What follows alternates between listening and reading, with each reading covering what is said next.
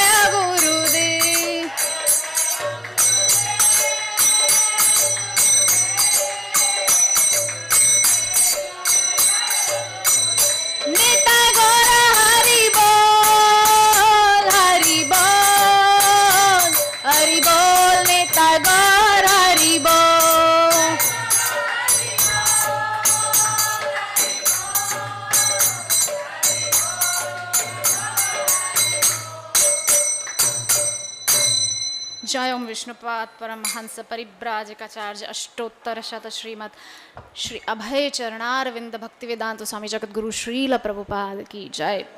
ISKCON BBT संस्थापक आचार्य जगत गुरु श्रील प्रभुपाद की जय। जय ओम विष्णुपाद परमहंस परिव्राजकाचार्य अष्टोत्तर श्रीमद श्रील भक्ति सिद्धांत सरस्वती गोस्वामी महाराज ठाकुर श्रील प्रभुपाद की जय। अनंत कोटि वैष्णव भक्त वृंद की जय। नामाचार्य श्रील हरिदास ठाकुर की जय। प्रेम से कहो श्री कृष्ण चैतन्य, प्रभु नित्यानंद। श्री अद्वैत गदाधर श्री वासादि गौर भक्त वृंद की जय, श्री श्री राधा माधव की जय, पंचतत्व की जय, नृसिंहदेव प्रहलाद महाराज की जय, जगन्नाथ बलदेव सुभद्रा महारानी की जय जगत गुरु श्रील प्रभुपाद की जय, निताई गौर सीतानाथ प्रेमानंदे, हरि हरि बोल। हरे कृष्णा। तो स्वागत है आप सभी का हमारे आज के नित्यम भागवत सेवाया के, आज के क्रम में। आज 26 जून 2023 और आज का जो हमारा श्लोक है, वो है द्वितीय स्कंद, अष्टम अध्याय, श्लोक संख्या 19 और 20 second canto eight chapter verse 19 and 20 तो पहले हम मंगलाचरण करते हैं, उसके पश्चात हम अपना क्रम जो है, उसको शुरू करेंगे। ओम ज्ञानतिमिरान्धस्य ज्ञानाञ्जनशलाकया चक्षुरुन्मिलितं येन तस्मै श्रीगुरवे नमः। श्रीचैतन्यमनोभीष्टं स्थापितं येन भूतले, स्वयं रूपकदा मह्यं ददाति स्वपदान्तिकम् वन्देऽहं श्रीगुरो श्रीयुतापदकमलं, श्रीगुरुन् वैष्णवाश्च। श्रीरूपां साग्रजातं सहगणरघुनाथान्वितं तं सजीवं। साद्वैतं, सावधूतं, परिजनसहितं कृष्णचैतन्यदेवं। श्रीराधाकृष्णपादान् सहगणललिता श्रीविशाखान्विताश्च नमो विष्णुपादाय, कृष्णपृष्ठाय भूतले, श्रीमते भक्तिवेदान्तस्वामी नामिने नमस्ते सारस्वते देवे, गौरवाणी प्रचारिणे। निर्विशेष शून्यवादी पाश्चात्य देशतारिणे। हे कृष्णा करुणा सिंधु दीनबन्धो जगत्पते। गोपेश, गोपिका कान्त राधा कान्त नमोऽस्तु तप्त काञ्चन गौराङ्गी राधे वृन्दावनेश्वरी वृषभानुसुते, देवी, प्रणमामि, हरिप्रिये। वाञ्छाकल्पतरुभ्यश्च कृपा सिन्धुभ्य एव च। पतितानां पावनेभ्यो, वैष्णवेभ्यो नमो नमः। जय श्री कृष्ण चैतन्य, प्रभु नित्यानन्द। श्री अद्वैत गदाधर श्रीवासादि गौर भक्त वृंद हरे कृष्णा हरे कृष्णा, कृष्ण कृष्णा, हरे हरे। हरे राम हरे राम राम राम, हरे हरे। ओम नमो भगवते वासुदेवाय। ओम नमो भगवते वासुदेवाय। ओम नमो भगवते वासुदेवाय। नारायणं नमस्कृत्य। नरं चैव नरोत्तमं देवीं सरस्वतीं व्यासं ततोज्जयमुदीरयेत् नष्टप्रायेष्व भद्रेषु नित्यं भागवत सेवया। भगवत्युत्तमश्लोके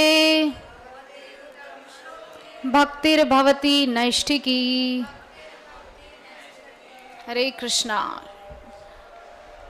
तो श्लोक आई थिंक वहाँ पर मेंशनड है 19 और 20 दोनों। सिर्फ़ 20 मेंशन है ओके तो ठीक है, मैं श्लोकों का एक बार उच्चारण कर लेती हूँ। और आप मेरे साथ में जो बीसवा श्लोक है, उसको मेरे पीछे पीछे आप दोहराइएगा। हरि ओम तत्सत। तत्त्वानां परिसङ्ख्यानं लक्षणं हेतुलक्षणं पुरुषाराधनविधिर्योगस्याध्यात्मिकस्य च। तत्त्वानां लक्षणं हेतुलक्षणं पुरुषाराधनविधिर्योगस्याध्यात्मिकस्य च। हाँ हाँ एक मिनट। योगेश्वरैश्वर्य गतिर्लिंग योगेश्वरैश्वर्य गतिर लिंगभंगस्तु योगिनाम। वेदोपवेद धर्माणाम इतिहास पुराणयो योगेश्वरैश्वर्य गतिर लिंगभंगस्तु योगिनाम। वेदोपवेद धर्माणाम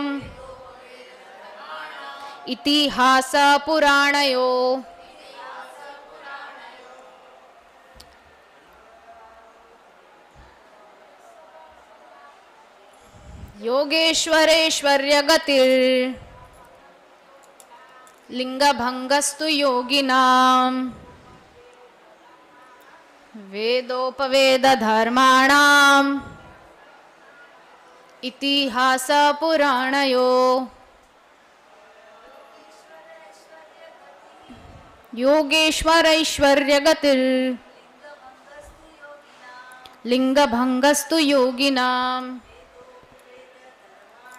वेदोपवेद धर्माणाम इतिहास पुराणयो शब्दार्थ, अनुवाद एवं तात्पर्य जगत गुरु श्रील प्रभुपाद के द्वारा। जय जगत गुरु श्रील प्रभुपाद की जय। तो प्रथम श्लोक में तो केवल अनुवाद है। अनुवाद, कृपा करके सृष्टि के तत्व मूलक सिद्धांतों इन सिद्धांतों की संख्या, इनके कारणों तथा इनके विकास और इनके साथ साथ भक्ति की विधि तथा योग शक्तियों की विधि के विषय में भी बताइए। श्लोक 20 का अनुवाद एवं तात्पर्य, महान योगियों के ऐश्वर्य क्या हैं और उनकी परम गति क्या है? पूर्ण योगी किस प्रकार सूक्ष्म शरीर से विरक्त होता है? इतिहास की शाखाओं तथा पूरक पुराणों समेत वैदिक साहित्य का मूलभूत ज्ञान क्या है? तात्पर्य, योगेश्वर आठ प्रकार की सिद्धियाँ प्रदर्शित कर सकता है, जिनमें परमाणु से भी सूक्ष्म बनना या पंख से भी हल्का होना, इच्छानुसार वस्तु को प्राप्त करना और जहाँ भी इच्छा हो चले जाना, आकाश में किसी लोक का निर्माण करना इत्यादि कृत्य सम्मिलित हैं। ऐसे अनेक योगेश्वर हैं जो इनमें से भिन्न भिन्न सिद्धियों में दक्ष होते हैं, किंतु इनमें से सर्वश्रेष्ठ है भगवान शिव शिवजी। शिवजी सर्वोच्च योगी हैं और सामान्य जीवों से कहीं बढ़कर अद्भुत कार्य करने वाले हैं। भगवत भक्त योग शक्तियों का प्रत्यक्ष रूप से अभ्यास नहीं करते। किंतु भगवत कृपा से वे दुर्वासा मुनि जैसे महान योगेश्वर को परास्त कर सकते हैं। जो महाराज जो महाराज अम्बरीश से झगड़ा करके उन्हें अपनी योग शक्ति की अद्भुत उपलब्धियाँ दिखाना चाहते थे। महाराज अम्बरीश भगवान के शुद्ध भक्त थे। अतः भगवान ने अम्बरीश महाराज द्वारा किसी प्रयास के बिना ही उन्हें योगेश्वर दुर्वासा मुनि के रोष से बचा लिया। और मुनि को राजा से क्षमा मांगनी पड़ी। इसी प्रकार जब द्रौपदी को कुरु लोग मिलकर भरी सभा में नग्न करना चाह रहे थे तो भगवान ने इस संकट की घड़ी में अशेष साड़ी प्रदान करके रक्षा की थी। और द्रौपदी को किसी योग शक्ति का ज्ञान तो था नहीं। अतः भगवान की असीम शक्ति के बल पर भक्त भी योगेश्वर होते हैं। ठीक उसी तरह जिस प्रकार बालक अपने माता पिता की शक्ति से शक्तिशाली बनता है, वे किसी कृत्रिम उपाय से अपनी रक्षा नहीं करते, किंतु माता पिता के अनुग्रह से बच जाते हैं। महाराज परीक्षित ने ब्राह्मण श्रेष्ठ सुखदेव गोस्वामी से ऐसे महान योगियों के परम गंतव्य के विषय में अथवा वे जिस प्रकार अपने प्रयासों से या भगवत कृपा से ऐसी अद्वितीय शक्तियाँ प्राप्त करते हैं, उसके विषय में भी प्रश्न किए। उन्होंने सूक्ष्म तथा स्थूल भौतिक शरीर से उनकी विरक्ति के विषय में भी प्रश्न किए। उन्होंने वैदिक ज्ञान के सार के विषय में भी जिज्ञासा प्रकट की। जैसा कि भगवत गीता में पंद्रह पंद्रह कहा गया है, समस्त वेदों का सार श्री भगवान को जानना और इस प्रकार भगवान का दिव्य प्रिय दास बनना है। हरे कृष्णा। तो बहुत ही सुंदर आज के जो ये श्लोक हैं, श्लोक संख्या 19 और 20 तो सबसे पहले तो हम देखते हैं ये प्रसंग क्या चल रहा है। ये प्रसंग चल रहा है द्वितीय स्कंद का अष्टम अध्याय, जिसका नाम है राजा परीक्षित के प्रश्न। राजा परीक्षित जो हैं, उनको शाप लग चुका है और वो अपनी जो पोजीशन है, वो ले चुके हैं आकर के, गंगा किनारे। ठीक है? और आकर के बैठ चुके हैं। सुखदेव गोस्वामी से उनका संवाद शुरू हो चुका है। और सुखदेव गोस्वामी से उन्होंने कुछ इतने ही मतलब क्या मैं कहूँ, इतने जगत के उद्धार के लिए ऐसे ऐसे प्रश्न पूछे। मतलब हम लोगों को रिप्रेजेंट कर रहे हैं वहाँ पर, परीक्षित महाराज। ठीक है? वहाँ पर सुखदेव गोस्वामी ने बोला है कि, राजन, ऐसी बात नहीं है कि आप कोई साधारण मनुष्य हैं। आप आप बहुत बड़े भक्त हैं भगवान के। आप पांडव कुल से आते हैं, जो कि सदैव भगवान के सानिध्य में ही रहते थे। कभी उनको जो है भगवान से अलग नहीं, क्योंकि भगवान भले ही उनके सामने नहीं भी होते थे, लेकिन तो भी भगवान उनके साथ ही होते थे। है ना? तो आप ऐसे परिवार उससे आप आते हो, आपका संबंध एक ऐसे दिव्य भक्त परिवार से है। आप ऐसा नहीं कि आप बिल्कुल ना समझ हो, मूर्ख हो, ऐसा नहीं, आप सब जानते हैं। लेकिन फिर भी कृतो लोकहितम नृप। वहाँ पर सुखदेव गोस्वामी बोल रहे हैं कि आप लोकहित करना चाहते हैं। देखिए, ये लोकहित का जो है ना, भागवतम और भगवत गीता में बहुत ज़्यादा, भगवत गीता में कौन लोकहित करवा रहे हैं हमारे लिए? अर्जुन। हम हम सबको रिप्रेजेंट कर रहे हैं ना वहाँ पर। हम सब लोगों का प्रतिनिधित्व करके जगत कल्याण के लिए ऐसे ऐसे प्रश्न भगवान से पूछे और सारे डाउट्स क्लियर कर दिए। है ना? इसी प्रकार से भागवतम में तो बहुत सारे हैं ऐसे। विदुर जी। विदुर जी क्या कोई साधारण इंसान है? साक्षात धर्मराज। हाँ। धर्म जिनका मतलब स्वरूप ही धर्म है जिनका। ऐसे धर्मराज विदुर जी, ऐसे साधारण मनुष्य बन के जिज्ञासु बन के मैत्रेय ऋषि के सामने बैठ करके प्रश्न पूछ रहे हैं। सब जानते हैं। मैत्रेय ऋषि भी वहाँ बोल रहे हैं कि ऐसी बात नहीं है कि विदुर तुम कुछ जानते नहीं हो, तुम सब कुछ जानते हो। लेकिन ताकि आने वाले लोगों को, आने वाले समाज को, पीढ़ियों को सब कुछ पता चल जाए, अच्छे से उनके सारे डाउट्स क्लियर हो जाए, क्या करणीय है, क्या अकरणीय है, उसका भेद लोगों को पता चल जाए। इसीलिए तुम मेरे पास आए हो और ये जिज्ञासा कर सब भगवान की लीला है। तो भगवान ने तो डायरेक्ट ज्ञान दिया था किसको? उद्धव जी को। और उद्धव जी से मिले थे विदुर जी वृंदावन में। तो उद्धव जी से भी उन्होंने पूछा था विदुर जी ने कि आपको जो जो ज्ञान भगवान ने दिया है मुझे आप दे दीजिए।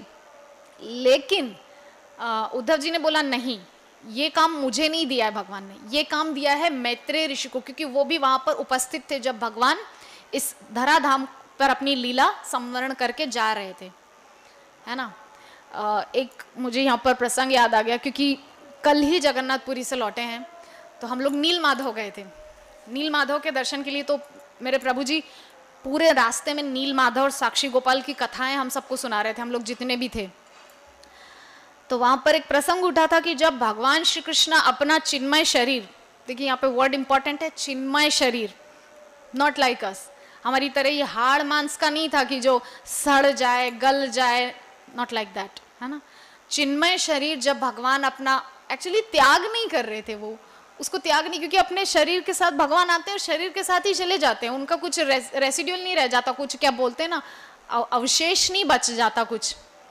कुछ ऐसा हमारे लोगों का जैसे बच जाता है ना, फिर वो घर वाले मटकी में क्या भर कर लाते हैं दैट ऑल दैट रिचुअल्स हाँ तो वो सब जो क्रिया होती है, वो भगवान की नहीं थी। लेकिन जो गाड़ी जो हमको लेकर गया था रिज़र्व करके हम लोग गए थे तो वो ड्राइवर उड़ीसा से है बेसिकली तो वो हमको बता रहा था स्टोरी कि पता है, जब भगवान का शरीर वहाँ पर छूटा था ना तो उनका दाह संस्कार किया था और दाह संस्कार करने के बाद जो जो कुछ बचा था, उसको उन्होंने समुद्र में बहा दिया था। ऐसे वो बता रहे थे। I don't know that is कितना सच है, कितना, क्योंकि सबका अपना अपना ज्ञान है अपना अपना लेवल है।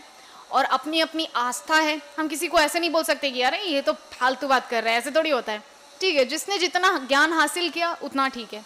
हम सुन लेते हैं, हम अपने ज्ञान को बढ़ाने की चेष्टा करें। तो उन्होंने बताया कि ऐसे भगवान को जब दाह संस्कार कर दिया था तो पूरा सब कुछ नष्ट नहीं हुआ, कुछ बच गया था ना तो उसको समुद्र में बहा दिया था और वो ही बहते बहते इधर आया था, पूरी के समुद्र तक। और उसी मतलब वो जो एक लकड़ी का रूप था और फिर उसी से जो है जगन्नाथ बलदेव और सुभद्रा महारानी के विग्रह तैयार किए गए थे। तो ऐसा उन्होंने बताया। और एक स्टोरी मैंने बहुत पहले सुनी थी कि भगवान का दाह संस्कार करने के लिए एक पेड़ काटा गया था। ठीक है? और उसकी लकड़ियाँ मतलब दाह संस्कार के लिए वहाँ पर सजाई गई थी। तो उस पेड़ में से एक बहुत बड़ा पोर्शन बच गया था। उस पोर्शन को उन्होंने बहा दिया था। तो वो बहते बहते इधर पूरी मतलब सोची कहाँ अरब सागर और कहाँ बंगाल की खाड़ी बे ऑफ़ बंगाल इधर तक आया वो बहते बहते। और उसी को जो है इंद्रद्युम्न महाराज ने वो जो विश्वकर्मा आए थे, उनके द्वारा वो विग्रह तैयार करवाए। तो ऐसी बहुत सारी जो है किमवदंतियाँ हैं स्टोरीज हैं, जो लोग जोड़ तोड़ के भी बना लेते हैं। क्योंकि बहुत से लोग कहीं से सुनते हैं, कहीं कीट, कहीं का रोड़ा, भानमती ने कुंबा जोड़ा, ऐसे बोलते हैं ना। तो अपनी अपनी स्टोरीज लोग क्रिएट कर लेते हैं। कितनी सही है, कितनी नहीं, उस पर तो खैर हमको ध्यान नहीं देना है। हमको जो शास्त्रों से जो हमको सार पता चला है, क्योंकि मुझे बोला गया है कि फाइव टू टेन मिनट्स मुझे जगन्नाथ कथा भी डिस्कस करनी है, क्योंकि जगन्नाथ भगवान आए हुए हैं और मैं तो पूरी में ही थी उस दिन। मुझे इतना आनंद आया, मैं बता नहीं सकती, उसको शब्दों में बयान नहीं कर सकती। कि जगत के नाथ सर्वसाधारण के लिए कैसे सड़क पर घसीटे हुए लाते जा रहे हैं। हाँ घसीटते हुए ला रहे हैं। और पता है, एक पंडा सामने डंडा लेकर रहता है। एक पंडा रहता है स्पेशली उसको ये ड्यूटी दी, उसकी, उसके हाथ में डंडा रहता है। वो ऐसे ऐसे उनको डंडा दिखाता है, चलो बाहर, नहीं जाओगे? चलो। गालियाँ देता है। तो जगन्नाथपुरी के लोगों का जो संबंध जगन्नाथ भगवान के साथ है ना, वो इतना मतलब क्लोज है हम लोग को तो डर लगता है ना, नहीं नहीं ऑफेंड हो जाएगा, अपराध हो जाएगा, हम ऐसे थोड़ी कुछ भी बोल सकते हैं भगवान को। लेकिन वो लोग को तो बहुत ऐसा एक कालिया, ऐसे बुलाते हैं ना वो भगवान को। हाँ बहुत उसको बिल्कुल ऐसे घसीटते हुए लाते हैं जगन्नाथ और बलदेव दोनों को। दोनों को डंडा दिखाते हुए लेकर आते हैं रत्न बेदी से रथ तक। लेकिन सुभद्रा जो है, वो लाडली बहन है, बहुत प्यारी है, इसीलिए उसको ज़मीन पर बिल्कुल नहीं टच करते। उसको पूरा हाथ में दोनों उठा करके पंडा लोग लेकर आते हैं। उसको ज़मीन पर टच भी नहीं होने देते, सुभद्रा महारानी को। तो वो जो दृश्य मैंने देखा, मुझे इतना आनंद हुआ, इतना रोमांच हो रहा था कि कैसे कि कैसे जगत के नाथ को घसीटा जा रहा है। हाँ घसीटते हैं। और बहुत बुरी तरह से घसीटते हैं। उनका पूरा काजल फैल जाता है, पूरी आँखें उनकी काली हो जाती है, उनका मुकुट पूरा तहस नहस हो जाता है। उसको ताहिया बोलते हैं उस पूरे रिचुअल को तो उनको बाहर लाया जाता है। पूरी 21 जो सीढ़ियाँ हैं, वो 21 स्टेप्स हैं, उनको पार करके पूरा जो जो रथ का मंडप है, वहाँ तक लाना। कितनी दूर है? रत्न बेदी से लेकर रथ तक लाना। जगन्नाथ को अकेले को आने में कम से कम तीन से चार घंटे लगते हैं। ठीक है? और बल, बलदेव जी को आने में तीन से चार घंटे लगते इतने भारी भारी विग्रह, कोई साधारण तो नहीं है ना? उनको, दोनों को आने में, फिर सुभद्रा महारानी को गोद में उठाकर लाते हैं। मुझे सबसे इंपॉर्टेंट और सबसे इंटरेस्टिंग जो लगा वो ये कि भगवान को लकड़ी दिखाते हैं, छड़ी दिखाते हैं पंडा लोग, और गाली देते हैं। चल, नहीं चलेगा? और घसीटेंगे तुझे। चल। क्यों? ये भाव क्या है? ये भाव है गोपियों वाला भाव। गोपियाँ कितनी क्लोज थी भगवान की। वो कुछ भी बोलती थी, हमने देखा है ना? जो द्वारिका की रानियाँ उनकी इतनी इतनी हिम्मत है, वो कुछ बोल सके द्वारकाधीश को? नहीं, बल्कि हाथ हाथ जोड़कर सिर झुकाकर उनके सामने खड़ी रहती थी कि क्या सेवा करें आपकी। लेकिन गोपियाँ गोपियाँ कुछ भी बोल सकती है भगवान को। ये जो संबंध है, इसको प्रदर्शित करती है ये रथ यात्रा। क्या संबंध है गोपियों का, भगवान के साथ? कितना डीप रिलेशन है। कि वो भगवान को घसीट सकती हैं। सोचो, अनंत कोटि ब्रह्मांड नायक, जो कि यही हम लोग पढ़ने वाले, योग शक्तियों से भी जिनको पाया नहीं जा सकता। अनंत जन्म लेकर के भी योगी जिनको पाने में असमर्थ है, उनको गोपियाँ घसीट रही हैं। हाँ? और वो आनंद प्राप्त कर रहे हैं। उनको कोई दुख नहीं हो रहा है, कोई लग नहीं रहा है, कुछ कष्ट नहीं हो रहा है। आनंद का अनुभव कर रहे हैं। वो सोच रहे हैं कि देखो मेरे से कितना प्रेम करते हैं ये। जानते हैं मैं भगवान हूँ, फिर भी मुझे घसीट रहे हैं। कितना आनंद है। भगवान को कितना आनंद आ रहा है। तो ये सब अनुभव वहाँ पर हुआ। इसके अतिरिक्त एक और जो चीज़ थी, इस बार पुरी में बारिश नहीं हुई, रथ यात्रा के दिन। बहुत गर्मी थी, बहुत तेज धूप थी, और पता नहीं कैसी इस बार जगन्नाथ की लीला थी कि जगन्नाथ इस बार तीसरे दिन जाकर रथ से उतरे हैं, गुंडीचा मंदिर में। जिस दिन बलराम तो जिस दिन निकले, उसी दिन शाम तक पहुँच गए थे। सुभद्रा भी पहुँच गई थी रात तक। लेकिन जगन्नाथ पहुँचे हैं दूसरे दिन और रथ से उतरे हैं तीसरे दिन 22 तारीख को रथ से उतरे हैं। देखिए, इससे पता चलता है वो जगत के नाथ हैं, वो किसी के नौकर नहीं है।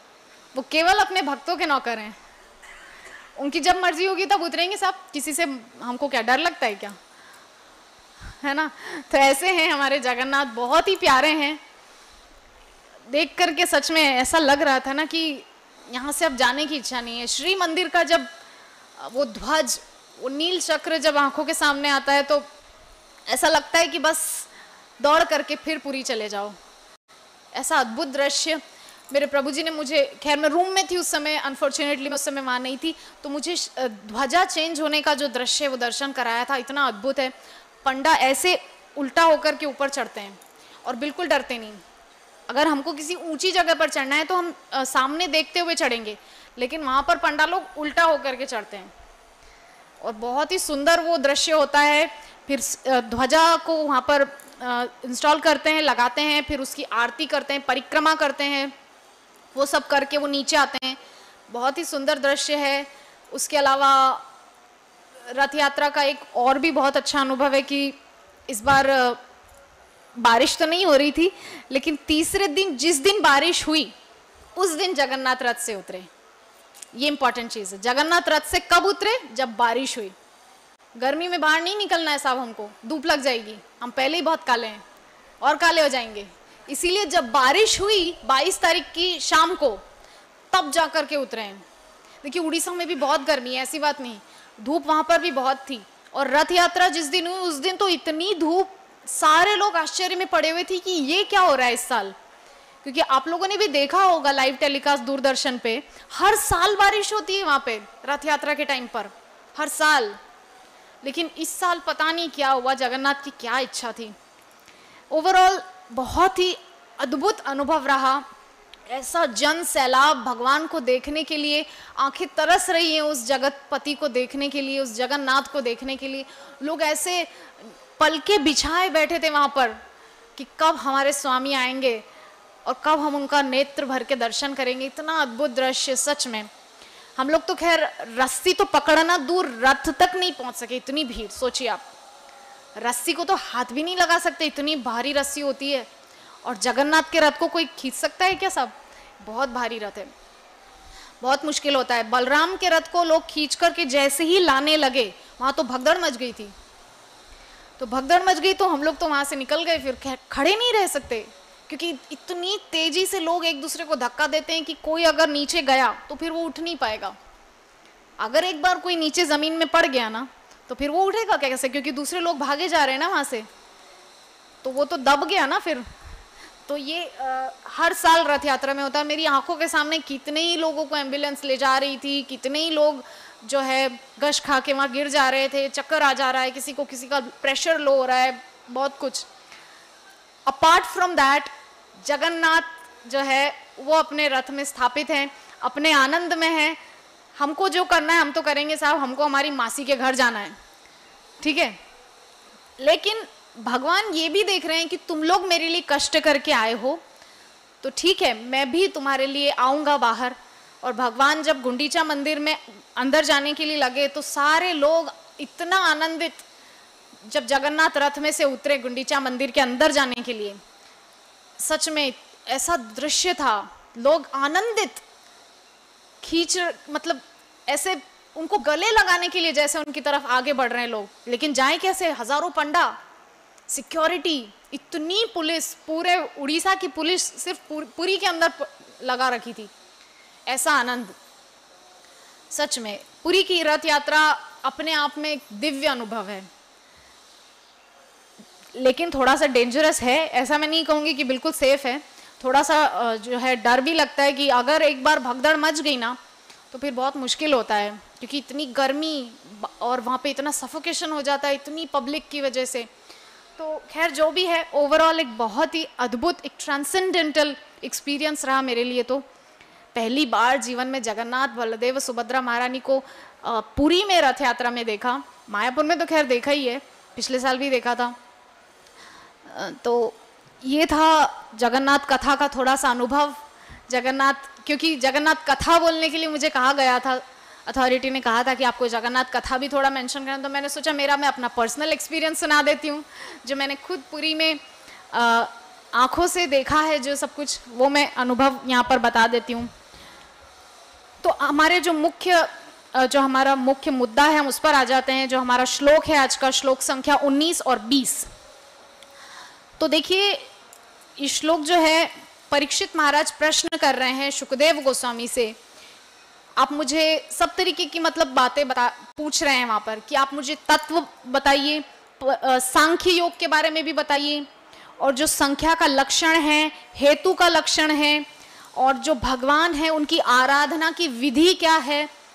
जो परम पुरुष हैं हम गाते हैं ना अभी क्या कर रहे थे थोड़ी देर पहले गोविंदम आदि पुरुषम। ये आजकल का आदि पुरुष नहीं एकदम फालतू है। आपने सुना होगा आदि पुरुष नाम की कोई फालतू सी मूवी आई है। आई I मीन mean, इतना ज़्यादा रोष जनता के अंदर उसके प्रति दिखाई दे रहा है। यहाँ तक कि मुस्लिम समाज के लोग भी उसका विरोध कर रहे हैं। आप सोचिए कितनी घटिया मूवी होगी, है ना? तो आदि पुरुष, यानी कि भगवान को जानना और भगवान को पोर्ट्रे करना, कोई साधारण मनुष्य के बस की बात नहीं है, ठीक है? वो तो कोई दिव्य, जिसने ज्ञान, गुरु के चरणों में बैठ, बैठकर जिन्होंने ज्ञान प्राप्त किया हो, वही, मैंने पिछली क्लास में भी कहा था कि किसी व्यक्ति ने गुड़ खाया है, ठीक है? अब आप उससे पूछे कि बताइए ना, गुड़ कैसा है? तो बोलेगा गुड़ चीनी के जैसा है। तो बोले, चीनी कैसी है? तो बोले, वो गन्ने का रस है ना, उसके जैसी है। मतलब वो एक्सप्लेन नहीं कर पाएगा कि आखिर स्वाद है कैसा, जब तक कि वो खुद उसको एक्सपीरियंस ना करे। तो भगवत ज्ञान भी वैसा ही है। जब तक हम किसी अनुभव प्राप्त व्यक्ति के चरणों में बैठकर उस ज्ञान को हासिल नहीं कर लेते देखिए सब कोई नहीं बता सकता कि हमने भगवान को कैसे अनुभव किया। बता वही सकता है जिसने आ, उस ज्ञान को दिव्य मतलब अपने हृदय में उस ज्ञान को स्थापित कर लिया हो जैसे कि बोलते हैं दिव्य ज्ञान हृदय प्रकाशित जिसके हृदय में वो दिव्य ज्ञान प्रकाशित हुआ हो ना वही उसको शब्दों में बयां कर सकता है जैसे शिल प्रभुपाद ने किया है। रात रात जाग कर के ये जो ग्रंथ लिखे हैं ना ये वही है दिव्य ज्ञान हृदय में प्रकाशित हुआ, उसको यहाँ पर लिख दिया। जो अनुभव हुआ, जो अपने निज, उनके जीवन के अनुभव हैं, उस सब कुछ उन्होंने लिख दिया। उन्होंने बता दिया, कृष्ण ऐसे हैं। कृष्ण बुक पढ़ लीजिए आप। कृष्ण ऐसे हैं, कृष्ण वैसे हैं, कृष्ण त्रिभंग हैं, कृष्ण श्याम सुंदर हैं, कृष्ण ललित हैं, कृष्ण ये हैं, सब कुछ। तो ऐसे व्यक्ति से सुनेंगे कि जिनको पता है कृष्ण कैसे हैं तो हमारे डाउट्स क्लियर हो पाएँगे। है ना? अगर आदि पुरुष जैसे लोगों के पास जाएँगे, देख तो हमको पता ही नहीं चलेगा कि ऐसे रामचंद्र, क्या गंजी पहन के घूमते थे, क्या मूछो वाले? हाँ ऐसे। तो डाउट्स क्लियर नहीं होंगे डाउट डाउट्स और बढ़ जाएँगे। ऐसे नौसीखिए लोगों से जानने पर। तो अनुवाद में यहाँ पर कह रहे हैं कि कृपा करके सृष्टि के तत्व मूलक सिद्धांतों, इन सिद्धांतों की संख्या इनके कारणों तथा इनके विकास और इनके साथ साथ भक्ति की विधि तथा योग शक्तियों की विधि के विषय में भी बताइए। परीक्षित जी महाराज यहाँ पर सब कुछ डिटेल में जानना चाह रहे हैं। देखिए, ऐसा नहीं कि परीक्षित महाराज कोई दो घंटा कथा सुन के फिर रेस्ट करने चले गए थे। नहीं ट्वेंटी फोर सेवन कथा चलती थी वहाँ पर। पूरा सात दिन चौबीसों घंटा कथा सुनी है परीक्षित जी महाराज ने। यहाँ तक कि जलपान करने के लिए भी नहीं उठे थे। सुखदेव गोस्वामी ने बोला था दशम स्कंद की कथा, कृष्ण कथा शुरू होने से पहले सुखदेव गोस्वामी ने बोला था कि आप जाइए, थोड़ा जलपान कीजिए, फिर मैं वापस कथा को स्टार्ट करूँगा। बोले, नहीं, ये जलपान करने के कारण ही तो शाप लगा है। जलपान करना था, मुझे प्यास लगी थी, इंद्रिय तृप्ति की इच्छा मेरे अंदर आई थी, तभी तो शाप लगा ना। अभी फिर मैं उसी में लगूं, तब तो मेरा जीवन बर्बाद हो जाएगा, मेरे पास समय बहुत कम है। स्थिति हम सबकी यही है। हम सबकी स्थिति यही है कि हम लोगों के पास भी टाइम नहीं है। बट ये नहीं कंफर्म है कि कितना टाइम है। सुखदेव गोस्वामी सॉरी परीक्षित जी महाराज को कंफर्म था सात दिन। तो उसके अकॉर्डिंग उन्होंने उस टाइम को यूटिलाइज भी किया। भागवतम सुन के अपने टाइम को उन्होंने बहुत सुंदर से यूटिलाइज कर लिया। तो यहाँ पर परीक्षित जी महाराज, सुखदेव गोस्वामी से सब कुछ जो है जानना चाह रहे हैं। सृष्टि कैसे हुई? उसके सिद्धांत क्या हैं सृष्टि के? आई थिंक प्रभु जी को बैठने में नीचे प्रॉब्लम हो रहा है। प्रभु जी के लिए चेयर ले आइए ना प्लीज़ नहीं प्रभु जी आप प्लीज़ चेयर में बैठ जाइए। वरना आपको कष्ट होगा। नहीं नहीं, कोई बात नहीं प्रभु जी चेयर में बैठ जाइए। इधर पंखे में आप बैठ जाइए ताकि थोड़ा सा रिलीफ मिलेगा। ले आइए प्रभु जी चेयर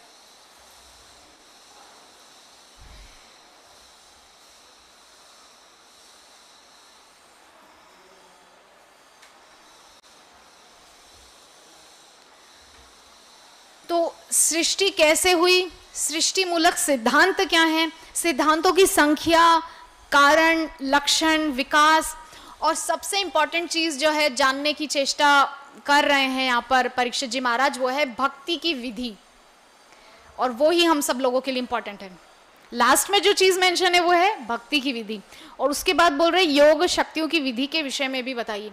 देखिए, एक जो इंपॉर्टेंट चीज़ है, वो ये है कि भागवतम में और भगवत गीता में सिमिलैरिटी ये है कि भागवतम में और भगवत गीता में पहले सारे दूसरे योगों की चर्चा हो गई। ज्ञान योग ध्यान योग, जो कुछ भी है। और लास्ट में जो एसेंस है, भक्ति योग, उसको लास्ट में रखा है। ठीक है? एकदम लास्ट में उस चीज़ को रखा। भागवतम में भी दशम स्कंद में जो भक्ति का सार है पूरा, कृष्ण कथा, वो सार रूप में उसको बाद में सब कुछ मेंशन किया। ठीक है? तो ये इससे पता चलता है कि योग जो ध्यान योग है, ज्ञान योग है, बुद्धि योग है, जितने भी योग हैं एक्सेप्ट भक्ति योग भक्ति योग के अलावा जितने भी योग हैं, उन सबका सार भक्ति योग ही है। तो लोग क्वेश्चन करते हैं ना, अगर भक्ति इतनी इंपॉर्टेंट है तो भगवान ने ज्ञान योग के बारे में क्यों कहा? भगवत गीता में ध्यान योग को क्यों मेंशन किया? बुद्धि योग वगैरह ये सब क्यों लगाए? अरे भैया, बाद बाद में तो भक्ति योग बोला ना उन्होंने सबसे लास्ट में। तो सार तत्व को ग्रहण करो ना आप। अर्जुन को लास्ट में एक ही इंस्ट्रक्शन दिया कि मेरे सरेंडर हो जाओ। और सरेंडर सर्वधर्मान परित्यज्य मामेकम शरणम रज हम तमाम सर्व पापेभ्य मोक्ष श्यामी माशुचाओ डोंट फियर डरो मत। एक बार मेरी तरफ़ सरेंडर हो जाओ। अब सरेंडर योग वाले तो सरेंडर होते नहीं है। वो लोग तो अपनी बल पे हम अपने बल पे पार करेंगे भव सागर को। करो साहब, कहाँ तक चल पाओगे? देखते हैं। भक्ति योग वाले सरेंडर कर देते। ठीक है, वो नाव में बैठ गए हैं। अब जैसे नौका चलाने वाला चलाएगा, वो उसकी प्रॉब्लम है, हमारी नहीं है।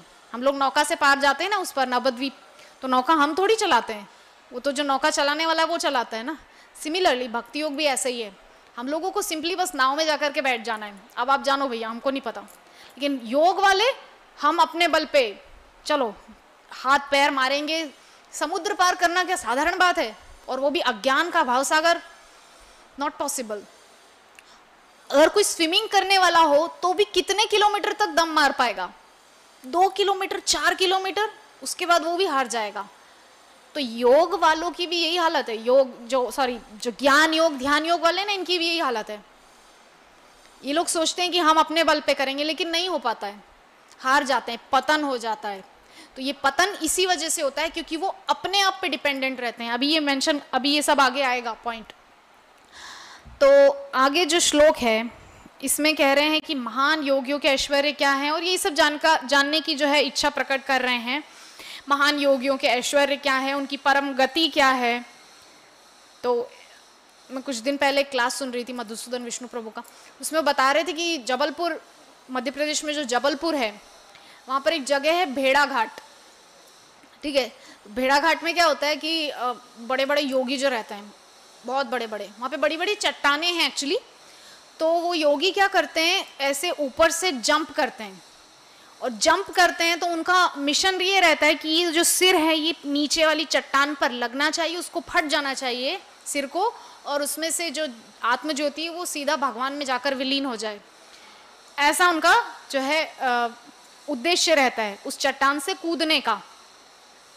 ठीक है?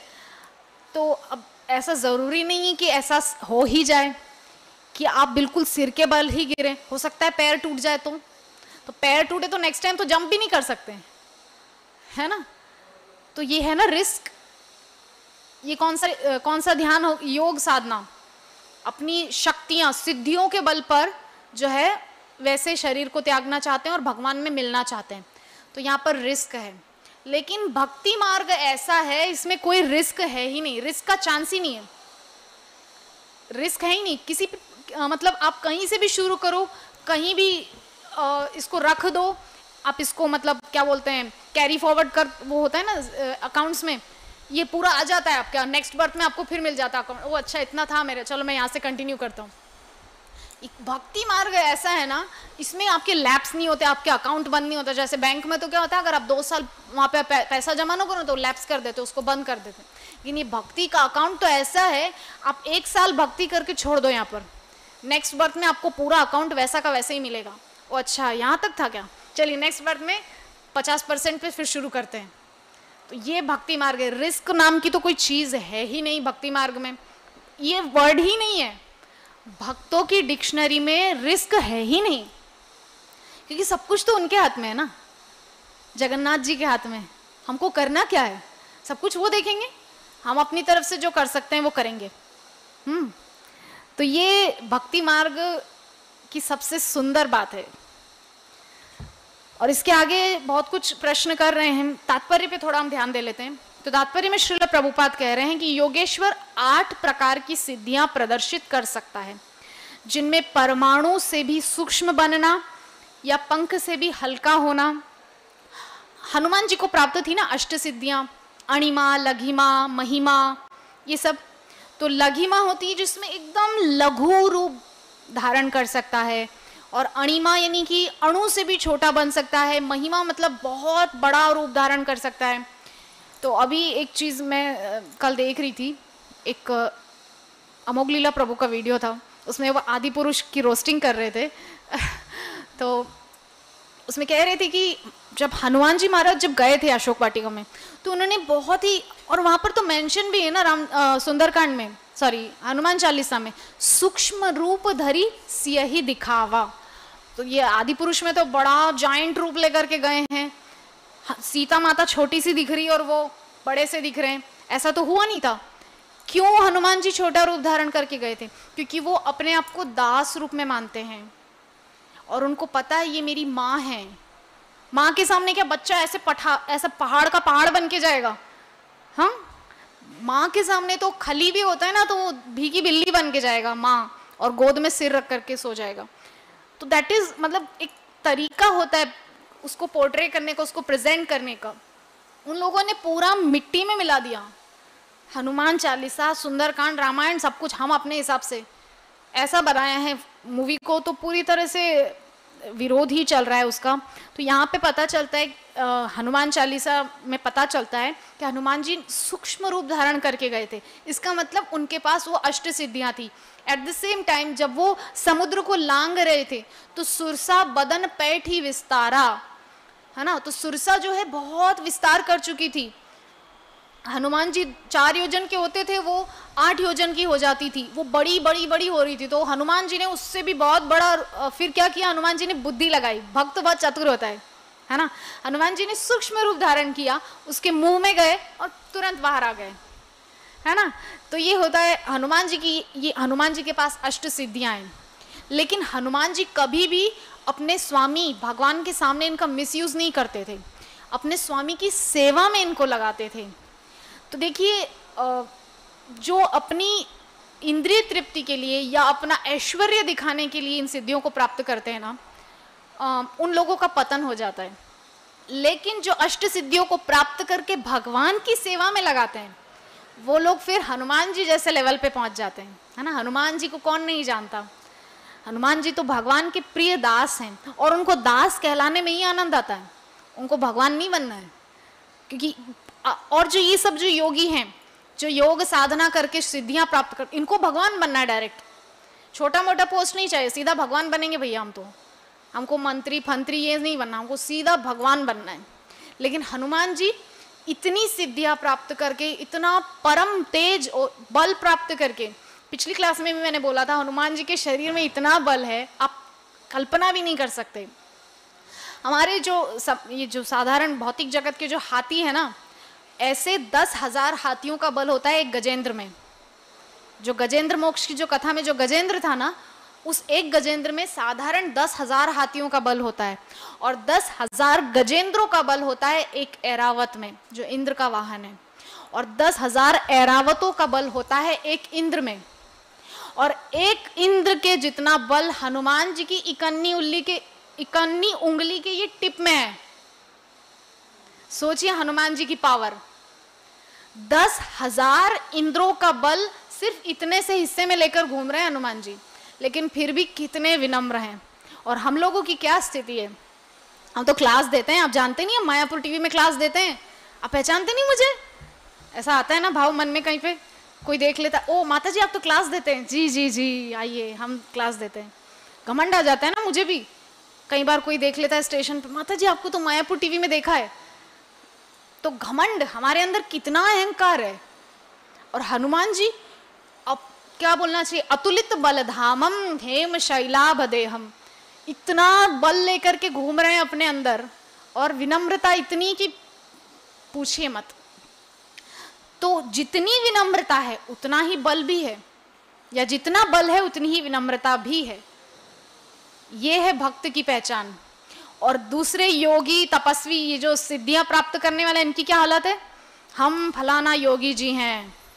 अभी एक बहुत फ़ेमस हो रखे हैं, बागेश्वर धाम।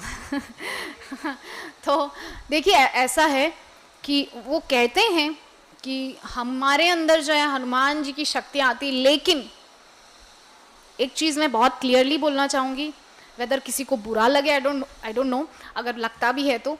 बट चीज़ बहुत क्लियर है कि किसी मनुष्य की सामर्थ्य नहीं कि देवी देवताओं की शक्तियों को अपने शरीर में आ, उसको हैंडल कर सके। वी आर नॉट केपेबल देवी देवताओं की शक्तियाँ कोई सामान्य है क्या? आप दो मिनट अगर बाहर तूफ़ान चल रहा है, आप खड़े नहीं रह सकते। मेरे जैसा तो नहीं खड़े रह सकता। मैं तो उड़ के कोलकाता पहुँच जाऊँगी सीधा। है कि नहीं? इतना पतला शरीर है, मैं क्या वायु का झोंका सह सकती हूँ अगर तूफ़ान चले? मान लीजिए अभी वो बिपोर जॉय जो आया था, वेस्ट इंडिया में। अगर वो इधर आता है तो मैं तो सीधा कोलकाता जाऊँगी उड़ करके। है ना? तो सोचिए, मेरे अंदर वायु का एक झोंका एक तूफ़ान का एक झोंका सहने की ताकत नहीं। मैं कैसे कह सकती हूँ कि मेरे अंदर किसी देवता की शक्ति है? इट्स नॉट पॉसिबल हम केपेबल ही नहीं है उनकी शक्तियों को अपने अंदर धारण करने के। वो कृपा पूर्वक कुछ करवा दें, वो बात अलग है। जैसे भगवान के मामले में भी यही है। वो कृपा पूर्वक हमको जनवा दे कि मैं ऐसा हूँ। तो बात अलग है। हमारी सामर्थ्य नहीं कि हम भगवान को जान सकें। है ना? एक माता जी पहले भी बहुत बार मैं इस चीज़ को बोल चुकी एक माता जी मेरे प्रभु जी की क्लास में आती थी, वो बोल, बोलती थी, मुझे तो पता है भगवान, मैंने जान लिया भगवान को। अरे, कैसे जान लिया? कैसे जान लिया? ब्रह्मा जी बोल रहे हैं कि मेरी सामर्थ्य नहीं है। वेदों ने न इति न इति करके हाथ खड़े कर दिए, साहब, हमारे में सामर्थ्य नहीं है भगवान को जानने की। हम कैसे जान सकते हैं उस अपरिमित, उस असीम भगवान को? जो शेष है ना, शेष, अनंत शेष, उनके एक हज़ार फण हैं। और एक सांप की दो जीवा होती है, आप लोगों ने देखा होगा, है ना? तो एक हज़ार फण हैं, दो हज़ार जिह्वाएँ हैं उनकी। और दो हज़ार जिह्वाओं से वो निरंतर भगवान का गुणगान गाते रहते हैं, गाते रहते हैं, गाते रहते हैं, खत्म नहीं होता।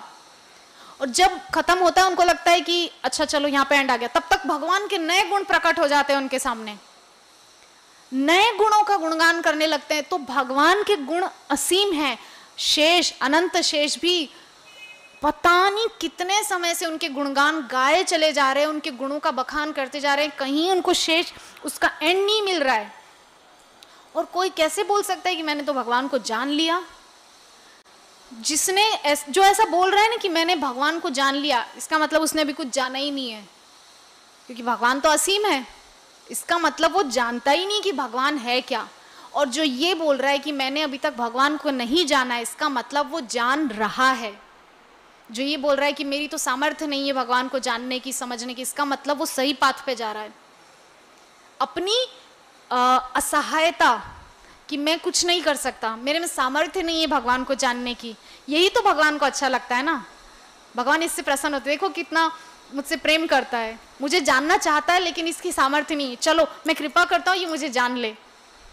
तो भगवान प्रभुपाद जैसे अपने शुद्ध पार्षदों को, भक्तों को भेजते हैं हमें जनवाने के लिए कि भगवान ऐसा है। एक मतलब एक छोटा मोटा एक हमारे सामने एक क्या कहना चाहिए? एक स्वरूप प्रस्तुत कर दे रहे हैं। जो भगवत धाम में जाकर हम देखेंगे, वो तो खैर बात ही छोड़ दीजिए। अभी हमारे समझने के लिए, हमारे ज्ञान के लिए शुल्भ प्रभुपाद ने हमको जो कुछ दिया है, उससे हम थोड़ा बहुत तो समझ पा रहे हैं ना, कि भगवान गोलोक में रहते हैं, भगवान श्रीमती राधा रानी के साथ विराजमान रहते हैं सब समय, गोपियों के साथ क्रीड़ाएँ करते हैं, मैया के साथ लीलाएँ करते हैं, बाल ग्वाल बालों के साथ गैया चराने जाते हैं तो ये सब हमको कुछ कुछ प्रभुपाद ने समझा दिया, तभी तो हमको पता चला ना। हम कोई जानते थे क्या पहले से? नहीं जानते थे। लेकिन हमको जनवा दिया भगवान ने अपने पार्षद के माध्यम से तो हम जान गए। तो हम थोड़ा सा आगे बढ़ते हैं, टाइम होने वाला है। तो यहाँ पर एक बहुत सुंदर उदाहरण दिया हुआ है कि ऐसे अनेक योगेश्वर है जो इनमें से भिन्न भिन्न सिद्धियों में दक्ष होते हैं। देखिए, ऐसा नहीं कि कोई एक व्यक्ति सारी अष्ट सिद्धियों को प्राप्त कर सकते, वो हनुमान जी की सामर्थ्य और हनुमान जी की इसलिए क्योंकि वो शिव जी का अंश है। है ना? और यहाँ पर वही बात श्रील प्रभुपाद ने मेंशन की है तात्पर्य में कि शिव जी ही एकमात्र सर्वोच्च योगी हैं। और भगवान कृष्ण कौन है? वो योगेश्वर हैं। शिव जी के भी ईश्वर हैं। है ना? तो बहुत सारे बा, आ, बाहर के लोग बोलते हैं कि आप इस्कॉन वाले ना शिव जी को डेमिगॉड डेमिगॉड करके उनका अपमान करते हैं। ऐसा नहीं करना चाहिए। शिव जी भगवान है परम है। फलाना इनका ऐसे बहुत कुछ बोलते हैं। लेकिन भगवान शिव जी खुद बोल रहे हैं ना कौन सा पुराण है वो मुझे इस समय याद नहीं है। नहीं नहीं पद्म पुराण। कौन सा श्लोक है? आराधना नाम सर्वेशम विष्णु आराधनम परम। शिव जी बोल रहे हैं, मैं नहीं बोल रही हूँ, या ब्रह्मा जी या और कोई ऐसे साधारण व्यक्ति नहीं बोल रहे हैं। शिव जी ने खुद इस बात को डिक्लेयर कर दिया कि परम आराधना है विष्णु आराधन। वहाँ पर शिव जी ने तो अपना नाम नहीं लगाया, वो तो अपनी पत्नी से बात कर रहे थे उस समय, पार्वती से। तो हो सकता, बोल बोल देते कि, देवी, सबसे बड़ी आराधना मेरी है। ऐसा तो नहीं किया उन्होंने। उन्होंने जो सही है, जो सत्य है, उसी को कहा कि सबसे बड़ी आराधना है विष्णु की आराधना।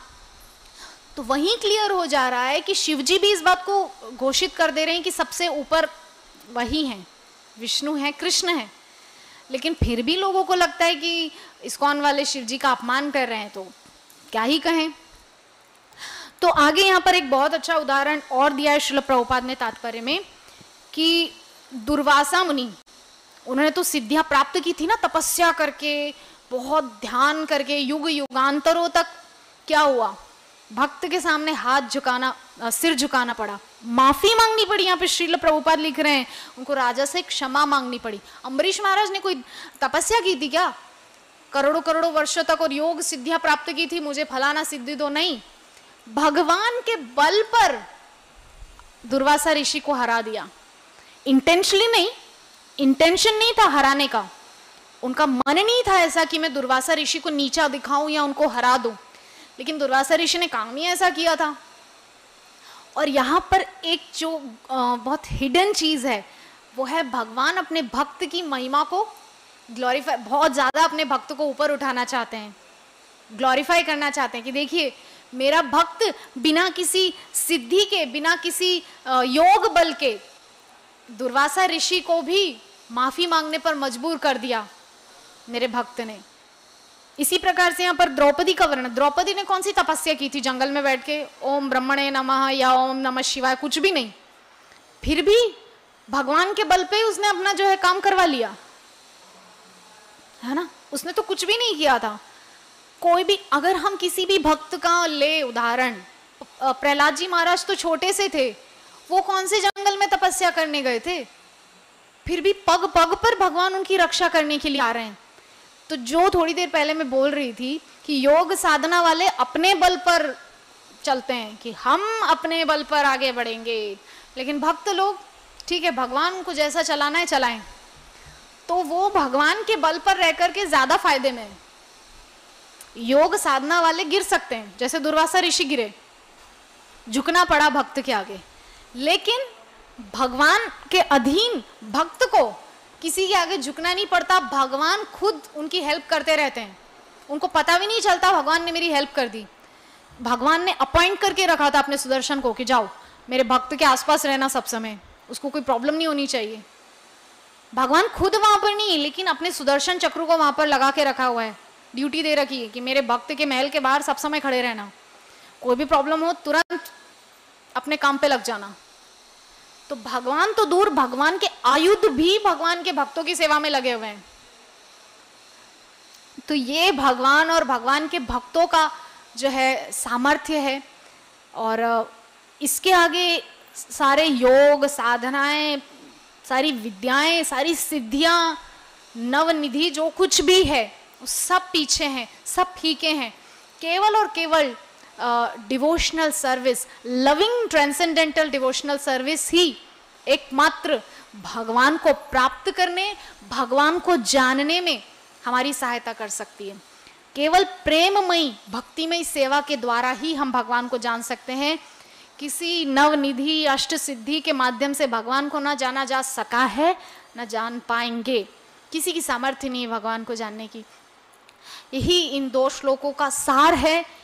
कि भगवान को आ, मतलब परीक्षित जी महाराज जानना चाह रहे हैं योग सिद्धियाँ ये सब की विधि क्या है? तो ये सब बता रहे थे यहाँ पर सुखदेव गोस्वामी।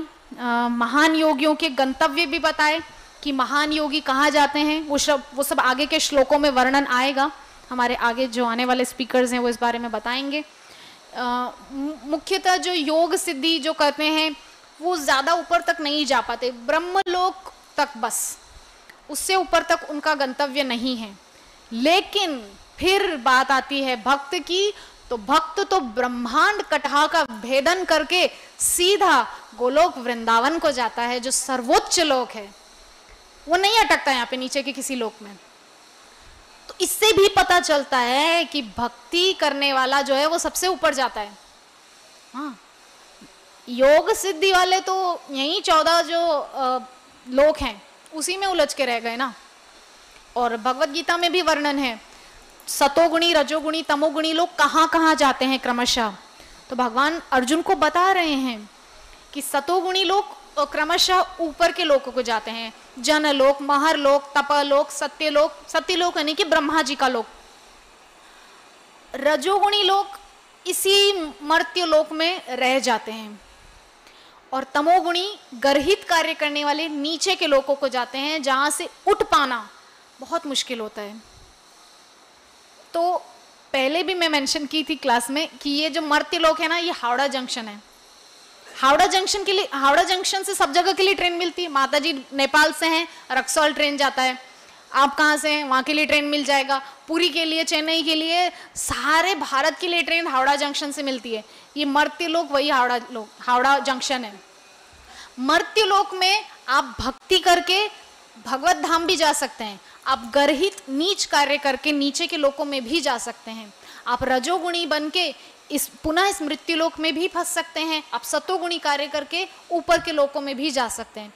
लेकिन हमको इन तीनों गुणों को पार करके शुद्ध सत्व में पहुँचना है और भगवत धाम प्राप्ति करनी है। इसी जन्म में। लेकिन ऐसा नहीं कि हमको अपने ही बल पे विश्वास करना है। नहीं, मुझे इसी जन्म में भगवत प्राप्ति करनी है। हमको अपने अंदर धैर्य भी रखना है। उत्साहात, निश्चयात, धैर्यात। धैर्य भी मायने रखता है। ऐसा नहीं कि, नहीं, इसी बार हो जाएगा तो हो जाएगा, वरना तो फिर प्रॉब्लम आएगी। फिर दस हज़ार वर्ष तक अगर हमको मनुष्य शरीर नहीं मिला, फिर तो इसकॉन खत्म हो जाएगा, फिर हम क्या करेंगे? तो इतना अपना दिमाग नहीं हमको लड़ाना है। सरेंडर अपने आप को समर्पित कर दीजिए। भगवान को जो मेरे लिए उचित लगेगा, वो करेंगे। क्योंकि मेरा भला बुरा, वो मेरे से अच्छा जानते हैं। मैं अपना अच्छा नहीं जानता। अगर मैं अपना अच्छा बुरा जान रहा होता या जान रही होती, तब तो मैं यहाँ आती ही नहीं। तब तो मैं यहाँ आता ही नहीं। भगवत धाम में ही रहता ना। भगवत धाम में ही रहते, अगर हम अपना इतना अच्छा जानते होते। तो यही है भक्ति की सारी क्रियाएँ। और एक उदाहरण यहाँ पर शिल प्रभुपाद ने दिया है कि माता पिता वाला जो उदाहरण दिया है। जो योग साधना वाले ये सब लोग जो होते हैं ना, ये अपने इंडिपेंडेंस विदेशों में जो बच्चे हैं, वो घर से घर छोड़ के निकल जाते हैं इंडिपेंडेंस के लिए। और फिर वो पूरी तरह से इंडिपेंडेंस में ही रहते हैं और फिर पंद्रह साल की उम्र में माता पिता बन जाते हैं, है ना? लेकिन जो भक्ति मार्ग पर चलने वाला है, वो है जो अपने माता पिता के अधीन है, वो जानता है मेरे माता पिता मेरा सब देख रेख करेंगे। मुझे चिंता नहीं करनी, मुझे नहीं चिंता करनी कि मैं आज कौन से कपड़े पहनूँगा, स्कूल में मैं क्या ले जाऊँगा, बुक्स है कि नहीं, बैग नहीं है, बॉटल, टिफ़िन, लंच। नहीं, माँ पिताजी देख लेंगे। वो अपना खेल रहा है बाहर बच्चों के साथ में मिट्टी में। दैट इज़ कॉल्ड सरेंडर्ड है ना? तो हमको ऐसे ही सरेंडर और सरेंडर की और भी बहुत सारी पद्धतियाँ वृत्रासुर ने वहाँ पर अपनी जो स्तुति है उसमें बताई है कि अलग अलग तरीके से सरेंडर भगवान को कैसे किया जाता है, उसके लिए फिर कभी चर्चा होगी। तो आज का जो क्रम है, इसको हम यहीं विराम करते हैं। सार रूप यही है कि सारी योग सिद्धियों का जो सार है, वो है भगवान श्री कृष्ण के चरणों की अनपायनी भक्ति। उसी के माध्यम से एकमात्र भगवान को जाना या पाया जा सकता है। हरे कृष्णा। ग्रंथराज श्रीमद् भागवतम महापुराण की जगत गुरु श्रील प्रभुपाद की।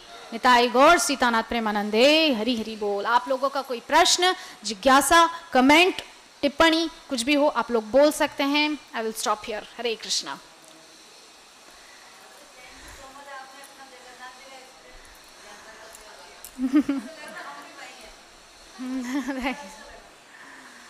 नहीं, सच में माता जी वो सच में दिव्य अनुभव है। भले ही धक्के लगते हैं या जो भी होता है, लेकिन जब वो दो बड़ी बड़ी आँखें दिखाई दे जाती है ना रथ में तो ऐसा लगता है कि सच में, और कुछ नहीं है इस दुनिया में, बस वो दो बड़ी बड़ी आँखें ही हैं, और कुछ नहीं है। क्योंकि भगवान ने वो जो रूप धारण किया था तो एक और इंपॉर्टेंट चीज़, ये रूप भी हमको भक्त की कृपा से ही देखने को मिला, नारद जी की कृपा से। क्यों? क्योंकि जब रोहिणी मैया वो सब कन्वे कर रही थी, जब वो सब बता रही थी लीलाएँ 16,108 रानियों को। आप सबको तो पता ही होगा 16,108 रानियों को जब वो लीलाएँ माता रोहिणी बंद कमरे में सुना रही थी बाहर सुभद्रा महारानी पहरा दे रही थी तो एकदम से कृष्ण बलराम आ गए थे और जब उन्होंने भी उन दिव्य लीलाओं को सुना तो उनके कान पिघल गए हाथ पिघल कर इतने इतने से रह गए पैर छोटे हो गए नाक चपटी हो गई आँखें बड़ी हो गई मुँह छोटा सा हो गया और मतलब वो दिव्य रूप देख करके नारद जी हतप्रभ हो गए, स्तब्ध हो गए। तो सोचिए नारद जी की क्या स्थिति हुई होगी उस सुंदर स्वरूप को देख करके। इसीलिए नारद जी ने भगवान से एक ही वरदान, क्योंकि उस समय जब नारद जी आए ना तो भगवान बहुत प्रसन्न हुए नारद जी को देख करके।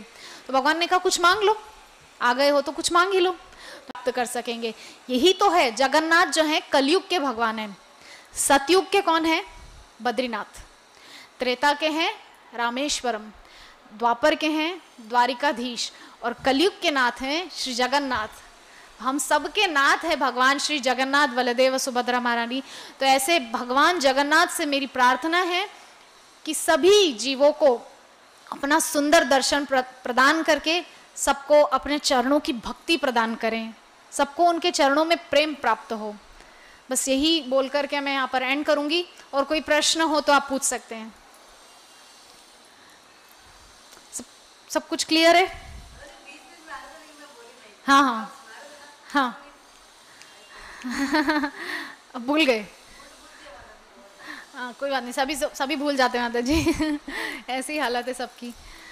तो ठीक है, यहीं पर एंड करेंगे। अगर कोई प्रश्न, जिज्ञासा कमेंट हो तो कमेंट भी आप दे सकते हैं। अगर कुछ आप लोगों को लगा कि कहीं मुझसे कोई त्रुटि हुई हो, क्योंकि मैं भी आप ही लोगों की तरह साधारण मनुष्य हूँ, ये चमड़े की जिह्वा है, फिसल ही जाती है। तो अगर कुछ भूल हुई हो तो आप लोग प्लीज़ मुझे क्षमा कीजिएगा। तो यहीं विराम करेंगे। जय जगन्नाथ बलदेव सुभद्रा महारानी की जय, रथ यात्रा, महामहोत्सव की। निताई गौर, प्रेमानंद।